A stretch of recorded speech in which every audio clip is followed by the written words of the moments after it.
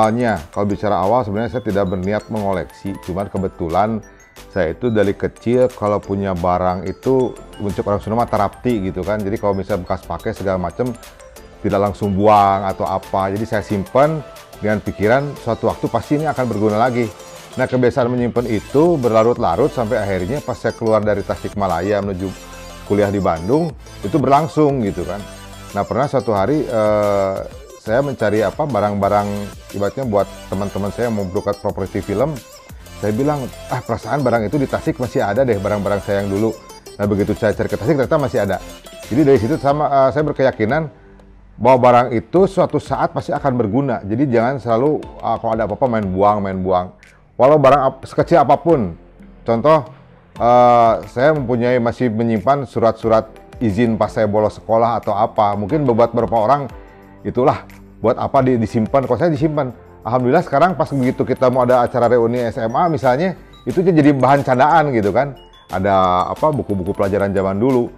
Uh, ujian uh, apa kertas ujian saya yang masih dengan nominal dengan dengan angka yang sangat buruk pada waktu itu. Raport saya jadi zaman SD bahkan baju pas pertama saya uh, acara cukuran acara cukuran lagi saya bayi alhamdulillah pas kemarin anak saya cukuran juga masih pakai baju yang sama gitu kan.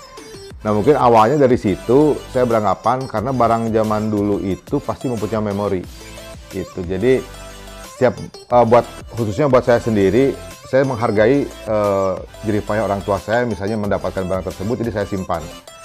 Jadi saya seperti tadi perangko kenapa saya, uh, saya simpan karena setiap satu minggu ayah saya selalu membawa saya ke toko cerdas waktu itu membeli uh, perangko pada waktu itu saya cuma ikut-ikutan aja gitu kan, ikut-ikutan orang lain musim koleksi perangko, ya udah saya ikutan. Kalau ada yang saya kelebihan saya tukar dan ternyata pas saya lihat sekarang nominalnya luar biasa gitu.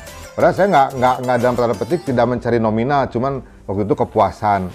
Nah alhamdulillah seperti kaset seperti ini juga kan barang-barang lama saya yang saya simpan gitu nggak saya buang walaupun kata orang wah udahlah udah berganti ke uh, apa DVD atau apa. Buktinya kan sekarang buat para penghobi-penghobi mereka mencari lagi.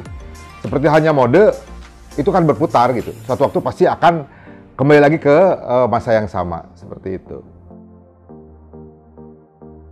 Nah itu kalau perawatan saya karena saya bukan kolektor ya. Kalau kolektor mungkin kan ada treatment khusus buat mengolek uh, apa merawat. Kalau saya sih lebih menyimpan. Jadi buat perawatan saya belum maksimal. Kalau lihat seperti ini juga kan sebenarnya buat pita-pita ini harusnya ada silika silika gel yang khusus menyerap uh, kadar kelembaban gitu kan. Seperti barang-barang ini ya saya rawat se seadanya aja gitu. Cuman minimal uh, item-itemnya saya masih ingat oh ini si misalnya uh, Queen box set ini ada ada 8 saya pertahankan 8 tanpa kalau orang lain mungkin uh, ada treatment tersendiri ya. Kalau saya dijaga keutuhan kelengkapannya saja sementara ini gitu hunting. Kalau dulu pas zaman saya masih di Jakarta, saya masih bisa menyempatkan hunting seperti uh, piringan hitam dulu ada di Jalan Surabaya. Terus kalau barang-barang yang lain uh, adalah di daerah Puncak atau daerah mana. Cuman buat kondisi sekarang yang mungkin uh, collectible item ini amat sangat mahal harganya.